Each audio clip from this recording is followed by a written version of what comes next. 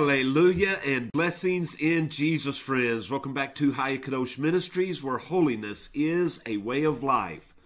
Jesus is truly King of Kings and Lord of Lords, and the Holy Bible, praise God, is our only standard and authority for truth. And together, God's people say, Hallelujah.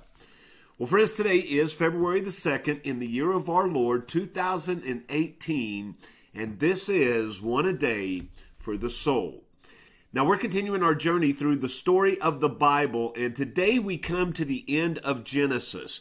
And we do so by looking at the death of Jacob, of Joseph, and then of Joseph's final wishes before he departs to the place of his fathers.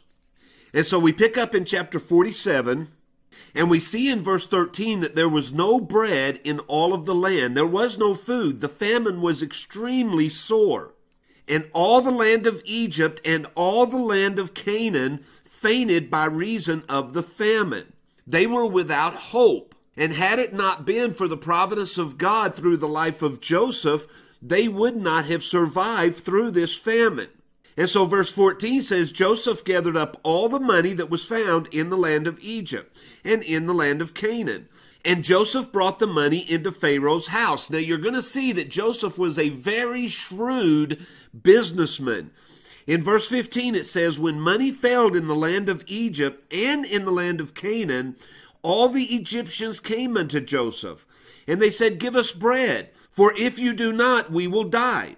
And so Joseph said, Give me your cattle. Well, he's already taken all of their money. So the only thing they have left to barter with is going to be their cattle, their land, and their homes. And so he says, Give me cattle, and I will give you food in its place. And so in verse 17, they brought their cattle unto Joseph. They brought their horses and their flocks, their asses and all their cattle. And Joseph in turn gave them food. Well, after they ran out of that food, in verse 20, it says, Joseph bought all the land of Egypt for Pharaoh. For the Egyptians sold every man his field in order to stay alive during this famine. So they traded their lands, their properties, for food. And in the process of all of this, it all now belongs to Pharaoh, no longer the people. And so the people, having given everything that they own in order to stay alive, Joseph says to them in verse 23 Behold, I have bought you this day and your land for Pharaoh. You now belong to Pharaoh. And they said in verse 25, You have saved our lives. Let us find grace in the sight of my Lord, and we will be Pharaoh's servants. And so Joseph makes a law that a fifth of all they have is going to go to Pharaoh, and then they are to keep four parts for themselves so that they can revive themselves after the plague, after the famine. And Israel, which means Jacob and all his family, dwelt in the land of Egypt, in the country of Goshen specifically, and they had possessions, they grew and they multiplied exceedingly. Now keep that in mind because that's going to be very important in the next story that we pick up. And Jacob lived in the land of Egypt 17 years so his entire age was 140 and seven years. And the time drew nigh in verse 29 that Israel must die, Jacob must die.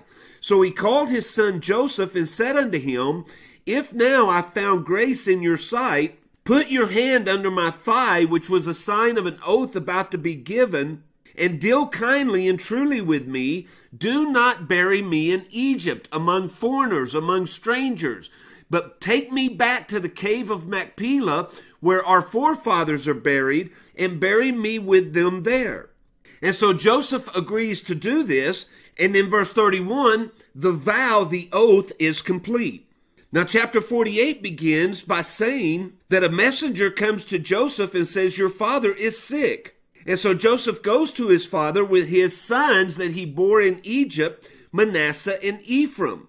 And even though they are born in Egypt, in chapter 5, as Jacob is giving his blessing unto his son, he says, Your two sons, Ephraim and Manasseh, which were born unto thee in the land of Egypt, before I came unto thee, before I moved here, they are mine. They belong to me. They are now a part of the covenant promise that God gave unto me. where he says in verse 4, God said, I will make thee fruitful, and I will multiply thee, I will make thee of a multitude of people.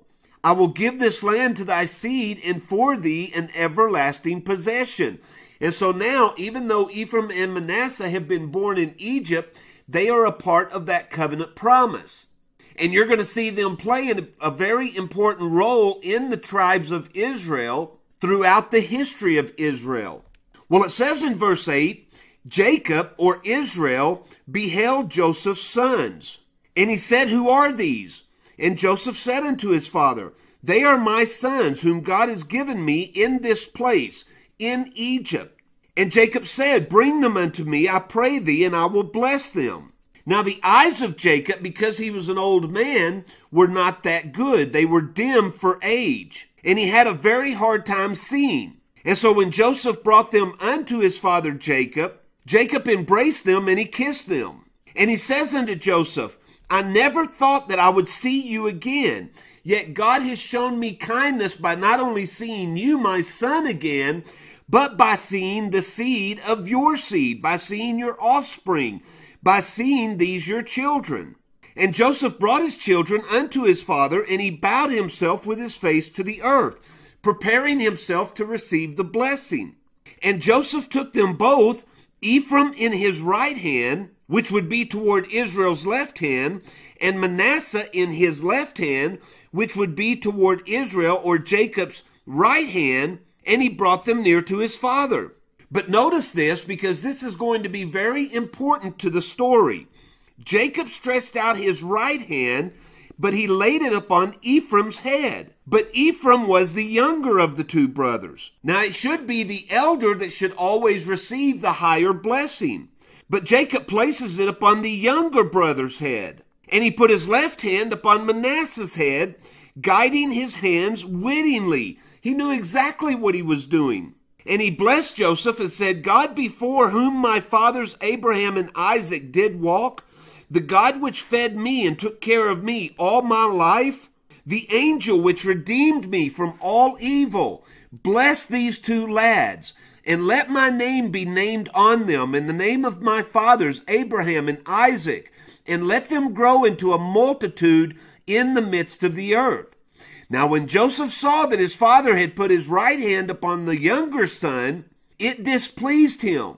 And he moved his father, or he tried to move his father's hand from Ephraim's head unto Manasseh's head, from the younger son's head to the older son's head. And Joseph said unto his father, Not so, my father, for this is the firstborn.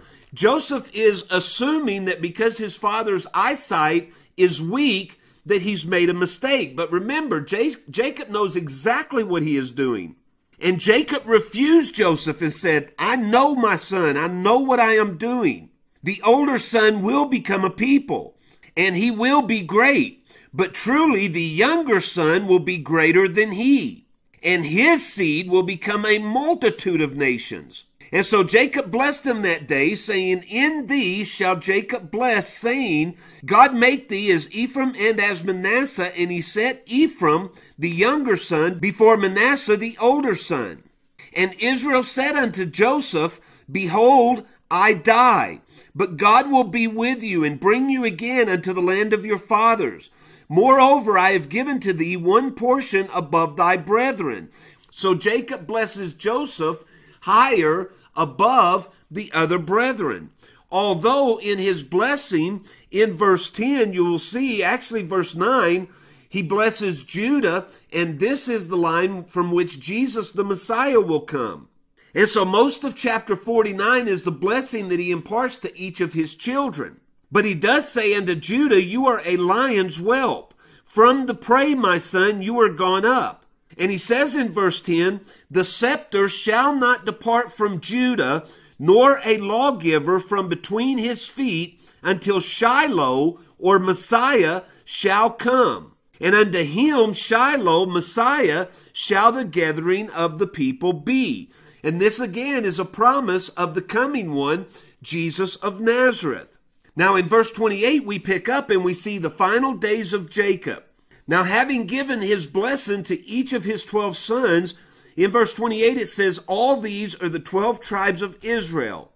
Now, in the next few verses, he charges his sons that they will not bury him in the land of Egypt, but they'll take him back to the land of his fathers, Abraham and Isaac, and even in the land where his wives were buried, and they would bury him there. And it says in verse 23 when Jacob had made an end of commanding his sons, he gathered up his feet into the bed, he yielded up the ghost, and he was gathered unto his people.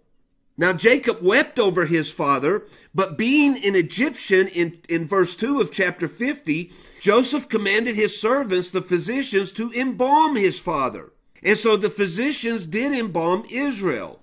Now, after a customary time of mourning passes, verse 4 says, When the days of his mourning were past, Joseph spoke unto the house of Pharaoh, saying, If I found grace in your eyes, let me go and bury my father in the land of Canaan. And Pharaoh in verse 6 says, Go, bury your father, according as he has made you swear. And it says in verse 13 that Joseph and his sons carried him into the land of Canaan as he had requested, and buried him in the cave of the field of Machpelah, where Abraham and Isaac and even Jacob's wives had been buried. And Joseph returned into Egypt, he and his brethren. And notice this in verse 15. When Joseph's brethren saw that their father was dead, they said among themselves, Joseph will peradventure hate us, and will certainly requite us all the evil which we did unto him. And so they sent a messenger unto Joseph, saying, Your father, before he died, commanded us, saying, Forgive your brothers for their trespass when they sold you into slavery. Don't hold it against them. And when Joseph heard these words, he wept. It broke his heart that his brothers would think so lightly of him. He had forgiven them many years ago. And yet it is their assumption that the only reason that he has been graceful with them is because their father was alive. And now they are implying because their father is dead, Joseph is going to wreak havoc upon them, is going to treat them unmercifully. And this breaks his heart because his brothers should know his heart, that he is a kind and loving and caring and gentle man, that his forgiveness was not a pretense based upon his father being alive, but it truly came from his heart. And we have to assume that there were many times when they spoke together, they talked together, they shared with one another, they rehashed this over and over. And yet, even though Joseph forgave them, they were unable to forgive themselves. They carried this with them, and it broke Joseph's heart that they would think such things of him. Well, it continues in verse 18. It says, His brother went and fell down before him. It said, Behold thy servants, with an emphasis on servants. They're trying to butter him up. And yet Joseph says unto them what he's always said unto them Fear not, for I am I in the place of God? Vengeance belongs to the Lord. Vengeance isn't in my hand, even though I'm a ruler in Egypt. Vengeance does not belong to me, it belongs to God. But as for you, you thought evil against me, but God meant it unto good, so that many people, including yourselves and your families, would be kept alive during the seven years of famine. But do not fear, my brothers. I will not harm you. I will nourish you. I will take care of your little ones. And he comforted them and spake kindly unto them. What grace we see in the life of Joseph. What patience we see in the life of Joseph. What compassion we see in the life of Joseph. The same compassion, the same mercy, the same grace, the same forgiveness that we see through the life of the Lord Jesus. And that's why the comparison of the life of Joseph in so many ways resembles that of the life of Jesus.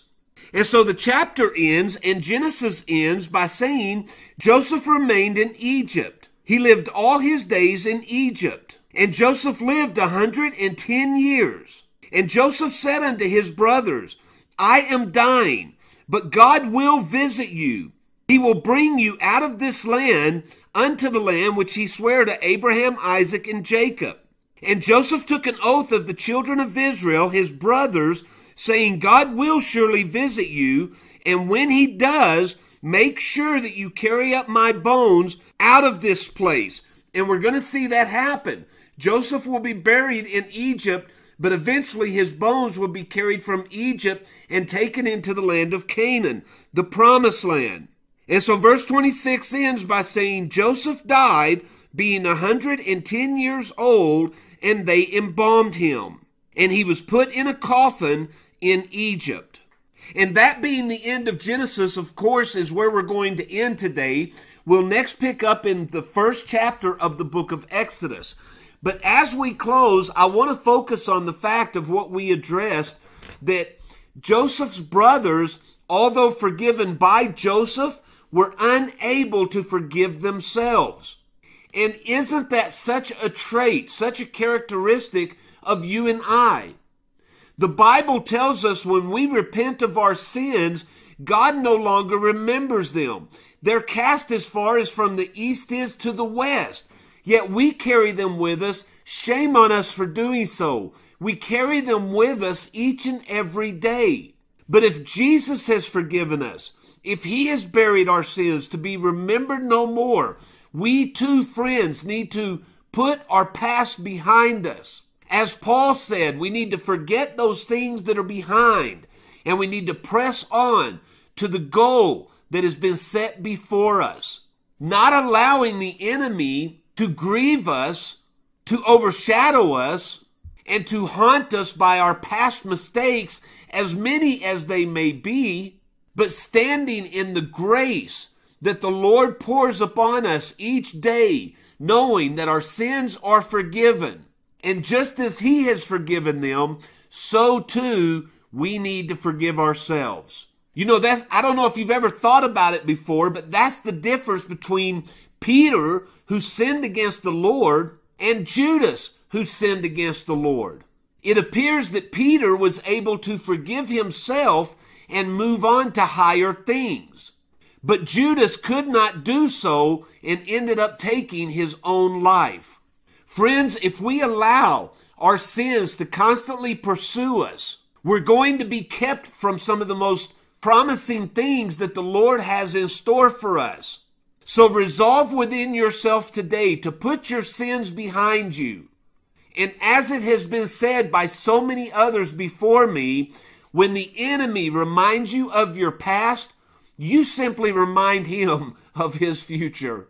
Oh, hallelujah. What a difference in our lives if we would do that each and every time. We have been forgiven. He never will be. Eternal glory and life with Jesus awaits us. Eternal suffering and destruction and a life empty of God awaits him. Yes, we may have sinned. Yes, we may have failed the Lord, but we don't stand in the mistakes of the past. We stand in the hope and the potential of the future. Hallelujah, friends. Well, I'm so grateful again that you're with us. I pray that you have been truly blessed so far through our study through the book of Genesis. I pray that you have learned many lessons that are transforming you into a better servant of the Almighty. And I trust and pray that you anticipate great things, for we haven't even begun to scratch the surface. There are many great stories that lie ahead of us. And as we study each of these stories, it is our desire to draw out as much application as we can so that we can be found more faithful in His sight. Now, as He wills, and until tomorrow, friends, I truly love you, and I'll see you on the next video.